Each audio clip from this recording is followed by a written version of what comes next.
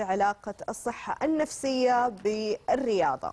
تسعى إدارة التوعية بمجمع إدارة إدارة للصحة النفسية إلى خطوات توعوية جديدة في تنويع وسائل التوعية وتحفيز المجتمع خصوصا على رياضة المشي.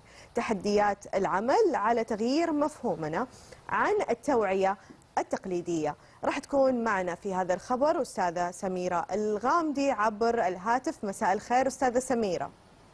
مساء النور يسعد مساكي ومسا الجميع.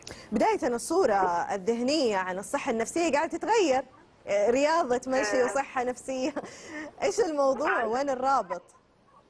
رابط ال lifestyle الصحة النفسية هي التكيف مع الحياة. هي كيف تغيري ال lifestyle تبعتك أو يعني أسلوب حياتك.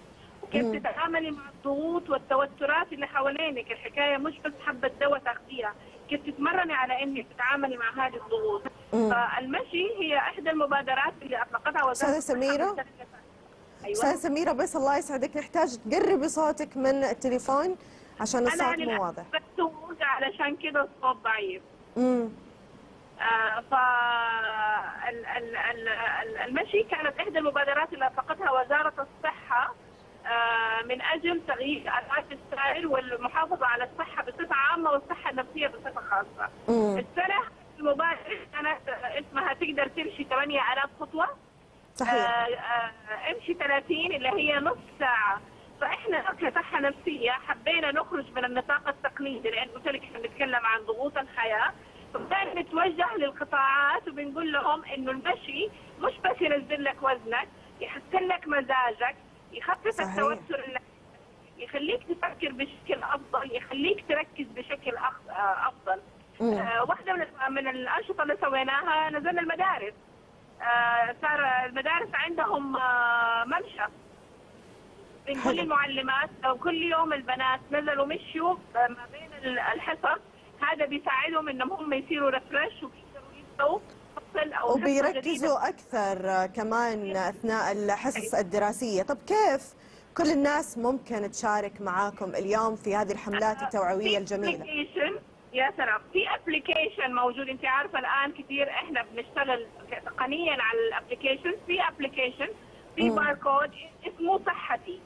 اسم ال application أي أحد ينزله على جواله ويبدأ كل يوم وأنا بقول لهم أنتم مو لازم تخرجي تمشي على ممشى. انت احسبي خطواتك طول اليوم. قديش تحركتي؟ قعدتي على مكتبك نص ساعة ومشيتي خمسة دقائق آه، كل. المستشفيات كل الأماكن الآن فيها مسارات مشي. آه ماشي في السوق. آه أنا أقول للسيدات بزيادة آه سيارتك بدل ما توقفيها قدام باب المول وقفيها بعيد شوية أو مو قدام باب مكتبك أو قدام باب البيت بعيد شوية وامشي كم خطوة. والرجال كمان نفس الشيء. آه لما تروحوا تشتروا شيء مو لازم بس تشتروا الشيء وتخرجوا. امشوا. شوية. آه في البيت. مش نخرج من الغرفة على الكنبة ونقعد من الكنبة على السرير لا نروح مرة اثنين.